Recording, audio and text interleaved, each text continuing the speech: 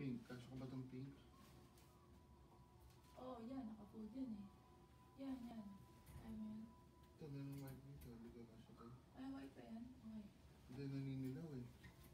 Kaya nga, ilagay mo lahat dito yung naninilaw. Pwede bang may kulay? O dahil patay, hindi Ew. may kulay? Huwag yung pulang kulay. Itong J Pwede yung blue. Itong J Tingnan mo ito kung ba yung suot ko dun sa picture ni Gerard?